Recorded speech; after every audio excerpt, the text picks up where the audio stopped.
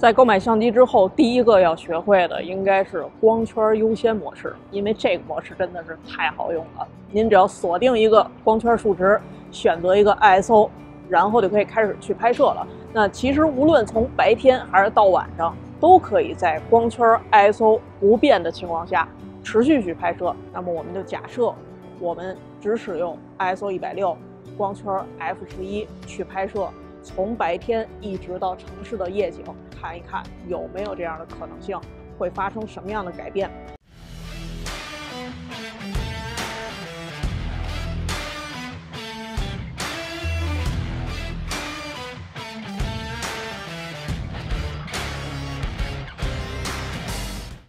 记得我在一开始学习摄影的时候，其实就是从光圈优先模式开始学起的。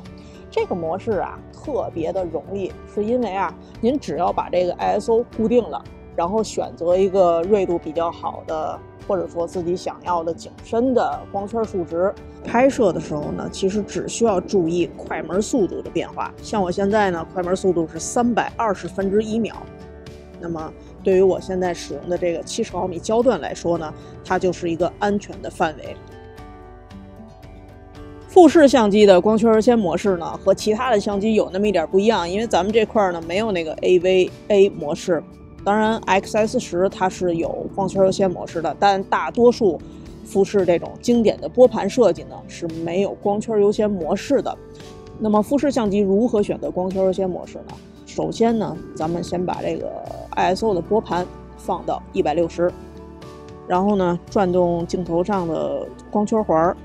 把光圈选到 f 十一，快门速度这个拨盘呢，选择 A，也就是 Auto，让相机自动来判断快门速度。接下来呢，我们就可以去拍摄了。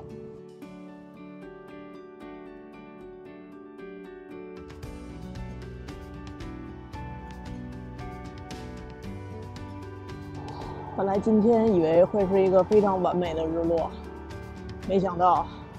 接近日落的时候，这云啊都走光了。摄影就是这么有惊喜，在你准备了一大套，特别的兴奋，开着车到这儿了，发现满不是那么回事儿，那就只能喝点茶，吃点东西。多功能的后备箱，水、零食、雨伞。小推车，移动电源。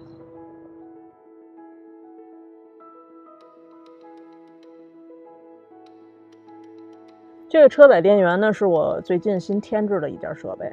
因为在路上的时间长了之后呢，吃饭、喝热水都是一个非常棘手的问题。那如果是可以实现热水的自由，那么像泡面、还有茶水、咖啡。都能够在路上随时随地的解决。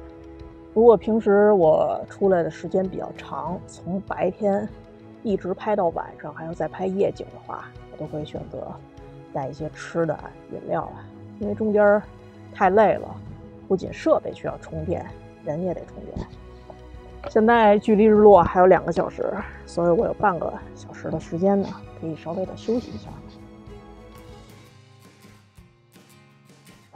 担心这个晚上风开始变大了，先降低点儿，因为这个栏杆其实支的高跟支的低，它都不妨碍。这个镜头都是穿出这个栏杆的，所以高低其实效果是没有什么太大差别。那这样的话呢，我就选择让它更稳定一点儿。像这种极为轻型的三脚架呢，其实拍长曝光、延时什么的也都是勉强可以的。把它给降低点儿，然后用它最粗的这节儿放在一个比较安全的位置，问题不大。夜景拍摄呢，其实是不需要任何滤镜就可以实现一个长曝光效果的。更况且呢，咱们现在用的 ISO 是一百六，光圈 f 十一，它的快门速度一定会降到十五到三十秒之间的。天越黑，它的这个快门速度就会变得越长。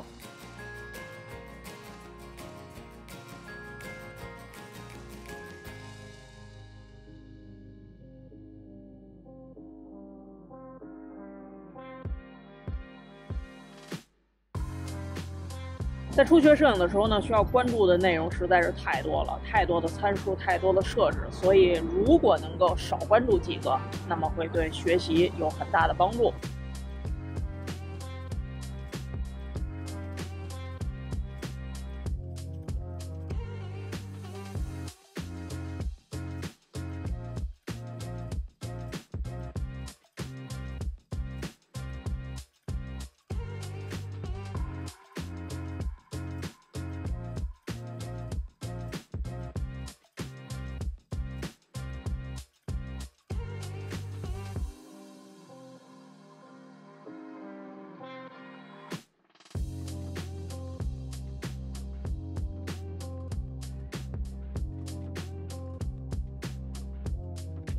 现在已经是日落的时间了，快门速度降低到了一点三秒。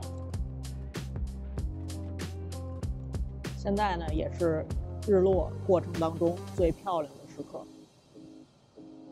所有的建筑呢都是金灿灿的。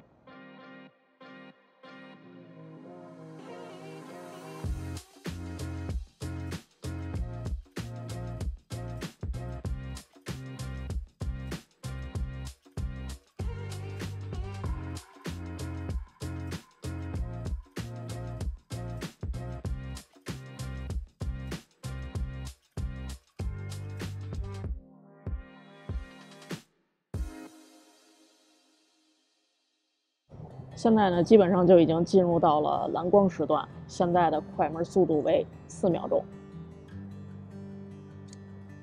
有点云飘过来了。日落结束了，它飘过来了。不过这也让夜景变得更好看了。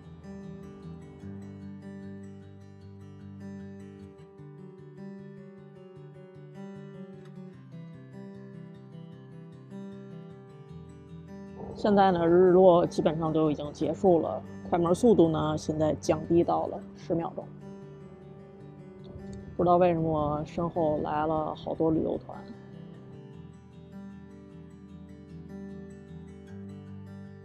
当太阳完全落下去之后呢，快门速度降低的会非常的快，在短短的五分钟到十分钟之内呢，可能就会从两秒钟到现在的十三秒。现在的这个时间段呢，是在日落后大概二十分钟左右，属于拍摄城市夜景的最佳时间。此时的快门速度呢是十五秒，光圈我依然用的是 f 十一 ISO 一百六十。所以在十五秒钟这么长的曝光时间之内呢，通常就不用再使用任何的 ND 减光滤镜了，因为那些滤镜会让快门速度。变得非常的长，而拍出来的效果呢，和十五秒钟其实没有什么太大的差别。现在呢，天空逐渐的暗下来了，快门速度已经降低到了二十秒。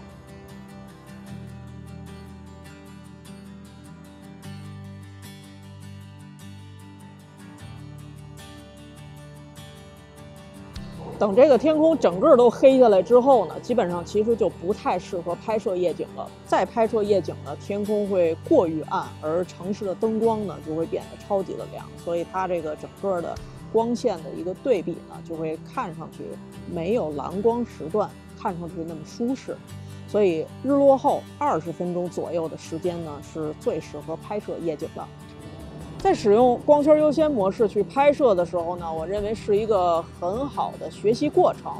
通过不同的时间段，您可以看到快门速度的变化。因为那两个参数都已经是固定的了，所以只有快门速度在一直不停的变化着。所以我们可以去寻找到一些拍摄的规律。摄影它难在于，就是每个人他拍的东西不一样。也许我喜欢的是城市风光，您喜欢的是微距、人像或者是其他的东西。所以在您的拍摄领域和题材当中呢，您可以去发现快门速度对您所拍摄的东西有什么样的影响。得嘞，今天就到这儿吧，天儿也黑了，我呢也准备就回家了。咱们下期见，感谢收看旅行摄影小课堂，我是艾迪，拜拜。